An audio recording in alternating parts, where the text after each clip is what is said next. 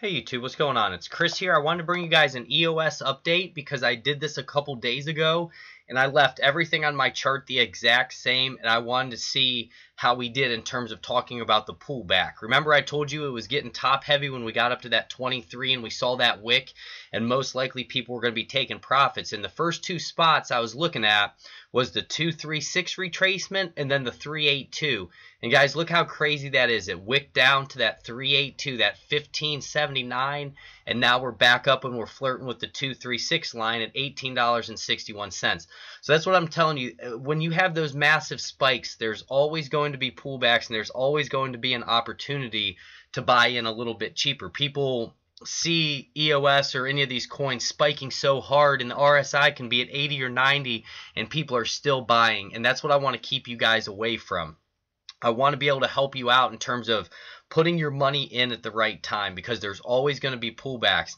And because we had this massive move, you could tell that we were going to pull back pretty good. And I'm actually surprised we didn't go down to the 50, hit that $13, and then start to spike up again a little bit because we have had good volume coming back in.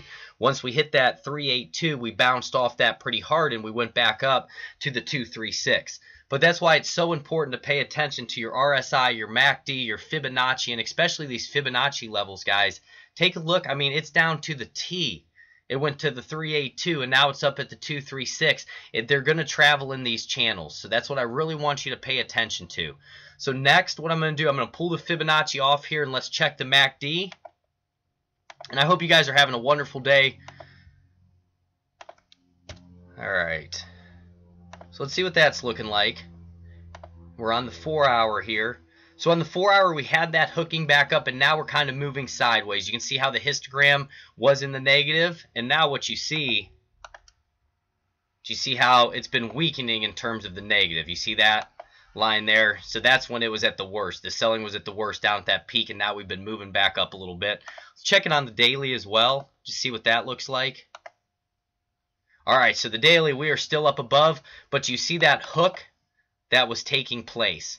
So when we started to get that hook or that flattening out, that's when people started to sell off. So that's why the MACD is such an important indicator.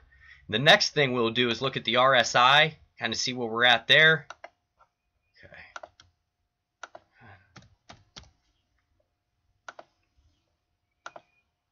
Okay, so the RSI, remember we talked about it, how it got up to that 90, and I was telling you guys, don't be buying right now. I know there's a lot of hype, but don't be buying because there's going to be a pullback. And now what you're seeing is the RSI at around 69 or so. So I would still even wait for a little bit more of a pullback. It just depends on what's going to go on with the volume, but just keep an eye on it, guys, okay? I don't want anyone to FOMO. I've FOMOed over coins before, and I want to help people prevent that. So I wanted to bring this to you. I hope you guys are having a wonderful day.